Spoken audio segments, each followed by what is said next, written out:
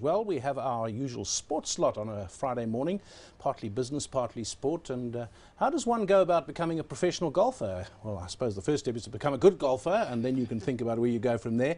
Now, Dale Hayes and Ivano Ficalbi are with us in studio, and in our Cape Town studio is Brendan uh, Barrat. Dale, let me start with you. And I, you know, you watch the Ryder Cup as we did over the weekend, and you watch those wonderful majors, especially the Masters. It's just so beautiful, and the life of a professional golfer looks wonderful but it's tough out there. And uh, there's that wonderful book called uh, A Good Walk Spoiled by John Feinstein. And he talks about how tough it is for the guys really out of the top 20. And the slam dunk day, the Friday of a tournament when you, the cut means that half the guys go home. Slam dunk is you're putting your, your clubs in the boot. you're not taking part. You've been a professional golfer for a very long time, and it, but it's a tough life. It beats the hell out of working. So let's start there, okay? Not that I would know because I've never had a real job, but um, it is a very tough life, you know, unlike I think most other sports where you start off by getting money. No matter whether you win or lose, uh, um, although a golf professional, if you've made if you've made it, you've done well, you would have endorsements. But in terms of prize money, you start off every tournament, and if you miss the cut, you don't get a penny. Mm. So it is a tough life, and you know we see all these guys out there winning loads and loads of money and uh, you don't sometimes realize that they've, they've been practicing for 30 years to get to that point. Mm. They've been practicing for 20 years to get to that point, or certainly for a very long time. Somebody like Rory McIlroy started playing golf, I think, when he was three or four years old. So it's taken a long time to get there. It's taken a lot of work to get there, and it takes a lot of work to stay there. Mm. And uh, so it is a tough life. Traveling, being away from your family, being away from your children, being away from your friends um, is not easy. Mm. Ivano, perhaps let's bring you into the conversation here. For somebody like me who does not follow golf, I understand you're the CEO of the PGA. When I think about the PGA, I think about Tiger Woods. I'm not sure. I think I'm on the right track. Exactly what is it that you do? You put events together, and one would think that is a lot of hard work. Okay, I think the, the, the clear difference is there are two professional bodies. There's the Sunshine Tour, mm -hmm. and that's uh, managed by Selwyn Nathan and, and Grant Wilson. They run the events the PGA of South Africa, we look after the professional who works in the golf industry. So your golf coach, your golf director, your club manager, th those sort of things. So we as the PGA uh, have a training program for people to go through to learn the golf industry, anything from coaching juniors to coaching your elite player to then uh, managing golf clubs. And we have, we have members who work in every different aspect of the game from reps, selling golf equipment to club fitters uh, to your best golf coaches. Yep. Let's bring in Brendan Barrat, who's the editor of Complete Golf uh, from Cape Town. Brendan, my impression is driving around Johannesburg, there are a couple of courses that are offering you breakfast plus your round. Uh, it looks as if these clubs are not at, operating at capacity. Golf is expensive. Uh, so I, I would say, course for course, South Africa's probably got the best golf courses in the world. Combine that with our weather, uh, it really is amazing. And yet, is golf growing? Is it, uh, is it a boom sport? Yeah, I mean, David, it's hard to hard to argue with that. That we've got uh, we've got incredible courses, we've got incredible weather, but uh, I think we are seeing a bit of a decline at the moment with golf. Uh, it's one of the challenges we're facing is to get more people to interested in the game and to get out onto the courses and, and, and to play a bit more often. Um, but yeah, I mean that's 100% uh, right by you. Yeah, Dale, uh, becoming a golfer, becoming a professional golfer, and I've known a lot of amateur golfers who are really very good. And as we know, the margin for error in golf is so, so tiny. You could have three rounds of 64 and you get one bad hole on the fourth round and that's it, you're gone. Now, all these very good amateur golfers, how easy is it for them to say, okay, I'm putting my hand up, I'm going to try it? Well, I, I want to give you an example of the difference. Uh, my father was a professional golfer. And my father always used to say to somebody who thought he was going to turn professional, if you can't average 66 or 67 every time you play on your home golf course, don't even consider it. Because add two shots for nerves, add two shots for the fact that you don't know the golf course, and your score's up to 70 already. And Tiger Woods and all these guys are shooting in the 60s every time they play on any golf course. So that kind of gives you an idea of how good you need to be. You need to be able to shoot 66 or 67 on your home course every time you play. Another example is the great old teacher Harvey Penick. Somebody came to him and said, uh, Mr. Penick, I'm nearly 50 years old. I want to go on the senior tour. I've made loads of cash and I want to go play on the senior tour and I'm a good golfer. Harvey Penick said, I want you to go to the driving range. There's a guy on the driving range right now who's made loads of money he's quite a good golfer, and he's also practicing to go on the senior tour. And the guy came back five minutes later. He said, "I get your point." The person on the practice team was Tom Kite. This guy said, "I get your point, but I'd still like a golf lesson from you." it's they ha- you have no idea how good you have to be, mm. you know. And I think to go to like the Nedbank Golf Challenge, to go to the South African Open, and watch these guys play and practice, mm, mm. you get you can get some sort of a concept of just how good you you have to be. You know, unfortunately, you have dads who uh, kind of see. Um, they, they see loads of money out there for their kids. Fond fathers. Yeah, and uh, you know they, they really have no idea how good you have to be. How, how many, uh, Ivan, uh, uh, how many golfers are there? How many professionals are there in South Africa? How many of them make a good to, to pretty good living? Well, we got 570 members who work in the industry. I think the tour must have about 200 players, and I would say 50 of those make a decent living here, and about 10 make a decent living worldwide.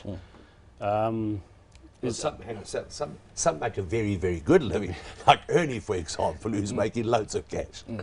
Yeah. So uh, it's it's yeah it's a very difficult industry to uh, you know to play in tournaments and and compete at the highest level. Takes a big step up from amateur golf to professional golf, like Dale was saying, and it's not a not a not, you're not going to make a lot of money out of it unless you're really really a good player. So Ivano, we're talking about guys that are really, really good. So if I'm thinking about starting at what I assume it's going to be amateur golf, what is it that I need to do? And how much is it going to cost me? Well, it varies. So if you if, if you want to get into golf, there's a lot of golf clubs that offer. Uh, uh, they call them bunny clinics for, for ladies to get used to the game. Generally, they introduce you to current ladies who play the game, Or men? or men. Okay. Well, that's Well- an issue I want to raise. Yeah. Well, I think uh, if you want to start the game, it's best to, to go have a to go take some lessons. You can take that either in the form of an individual lesson. You can go to the club near, nearest to you, find the PGA professional there. Uh, you can either have one-off lessons or you can have a bunch of lessons. But it's, it's probably best to do it in a group of people. You can take group lessons, and the pro will, will get you started from the basics to the full swing, to learning the game, explaining etiquette, the rules of the game, and eventually they'll take you out onto the golf course as well as, as a playing lesson. And then there's an introduction to the golf club, you know, getting to know members, playing the game, getting a handicap. So it's a it's a progression. takes a while to so do it. average cost for that, if I'm if I'm thinking I want to start getting my lessons, I want to get my kit together, how much should I be budgeting for? You always hear golf is an expensive sport, so Well, I think the the change that's happening now is I think a lot of golf professionals are offering where you can take a bunch of lessons without having the equipment to start off with because the equipment is the big fee. So I think a, a full starting pack, I think Dale would know better, was probably about 10, in excess of 10,000 Rand for all your equipment, your shoes and that kind of thing. Uh, a lesson package of 10 lessons was probably 1,500 Rand, I would imagine. Group lessons slightly cheaper. And then uh, getting into, you know, joining a golf club, minimum five, 6,000 Rand annual, annual fee. And then your green fees are anywhere between 100 and 200 Rand as a member of a golf club. Yep. Yeah. Brendan, bringing you in there, um, one thinks of making it easier, as you said, uh, as we've said here. And uh, the golfers generally, everyone's looking for that little secret, that little extra something that'll enable them to, to take, make, I think it was Harvey Penick who said the secret of golf is four shots into three or five shots into four, I forget. So, I mean, the margin for error again. You run the magazine, everyone's looking for that little secret. Uh, in terms of uh, money that's in the game, supporting magazines like yours, sponsorships and so on, we know the big tours are sponsored, lots of money there. How easy is it to get money in to develop players who don't have the money to get in but might have the talent? And we're talking particularly previously disadvantaged people. Well, yeah, I think the development board does a very, very good job, um, and uh, yeah, that is the challenge we have. Is that you know a lot of the clubs will put money to, money together and they'll have development courses, and the guys will come and they'll play. But you know, one of the problems we have is once they reach 18, they're outside, they, they, they fall outside the development board or the foundations that they're in, and then where do they go? They don't have the money to join the clubs or whatever. So we have got a couple of, of foundations where the guys can can uh, sort of prepare to turn professional, but um, yeah, it is one of the challenges we face. Dale, is it true that when people are in the boardroom, they talk golf, and when they're on the golf course, they talk business? uh, is this perhaps one of the other motivators to take up golf? It certainly is. It's a, it's a, it's a fantastic way to spend time with people. You know, golf is, uh, we call it a sport, but it's actually a social event for amateur golfers. And golf is about amateur golf. Let's never forget that. There are 50 million people around the world that play golf. 50 million. It's the most played sport in the world for adults. Okay, yeah. And the, the great thing about golf is that you spend four, four and a half, five hours with, with people talking. You hit shots for two minutes. For four and a half hours, you talk. So there's no better place to do business. And it's a fact. A lot of business is done on the golf course. And, you know, uh, uh, Brenda there is talking about the Golf Development Board. Thank goodness the Golf Development Board is supported by Johann Rupert. He really looks after, he really looks after golf in a wonderful way. He loves the game of golf and supports it incredibly well.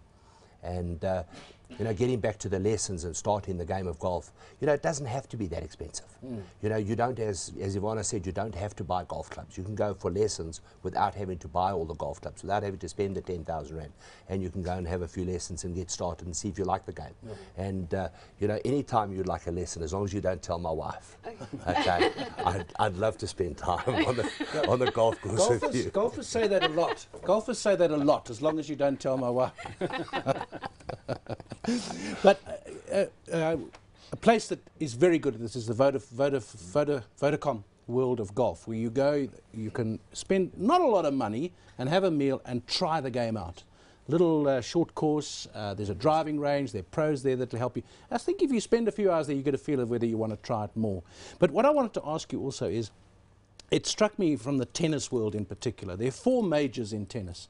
The South African Open tennis used to be the fifth major in world tennis, the Grand Slam tournament. They sold it. They got some money for it. The South African Open golf used to have that kind of status. Now, in my mind, it doesn't, it's still very important. It doesn't have that status anymore, perhaps because the Nedbank Challenge, the Nedbank Million Dollars was called, perhaps that took the limelight. So is our circuit, we've got great courses, we've got some great golfers. I mean, again, man for man, woman for woman, we've got more good golfers than most countries in the world. Yet is our tour living up to that? Uh, I'd struggle to answer that question. Dale may have well, a better, a better I idea there, I think. You know, I think our, you know, our tour is terrific. We had more co-sanctioned events um, in South Africa like than any other country. Uh, linked. Yes, and we had more than any other country in the world. And, yeah, that's, that's pretty impressive. But is it sustainable? That is a big question. There's a big question so mark what's the problem? You know, I, I, think a lot of our tournaments are backed by uh, uh, provinces and by cities and stuff like that. You know, Joburg Open, the Tshwane Open, etc. Um, whether they in there for the long haul, uh, we need to wait and see. I would like to see some of our tournaments merge together. I was just talking to Ivano about it. I'd like to see some of our tournaments merge together, make them bigger, have fewer of the really big tournaments that are there to attract international players to come to South Africa, and then have many more tournaments for our local players. So they have many more tournaments where they offer a million rand prize money that our local players can go down to to uh, uh, Pietersburg or Durban or Pietermaritzburg, wherever it might be, and go and play in a tournament. And then just only have three or four really big tournaments like the Nedbank. Mm. Have the Nedbank, the South African Open, the Joburg Open, whichever four they choose. The Nelson Mandela, what a name you know, for a golf tournament. But merge the Nelson Mandela with another tournament to ensure that it's going to be sustainable. That's what I'd like to see happen. Brendan, last word from you there. Uh, the future of golf. I mean, you've got to have your finger on the pulse here because uh, you have readers and you've got to sell the magazine and keep in touch with them. Are we going to get back to a growing sport or is there just not the resource in South Africa? I think there's no reason why we shouldn't. Um, I think golf's going through a very exciting phase at the moment. You just got to look at someone like Rory McIlroy breaking through. Um, you look at some of the, the top South African players coming through, and I think once you see once you see these guys out there and how much fun they're having and how much enjoyment it is, I, think it inspires more people to want to play golf. So um, we do, uh, as I said earlier, we do have the challenge of trying to get more people onto the golf course and, and uh, trying to make golf a little easier and trying to make it a little less expensive um, and, and, perhaps less time consuming. You know, people want to spend less time. They've got less time these days. They don't want to spend half a day on the weekend. They'd rather spend it with their families.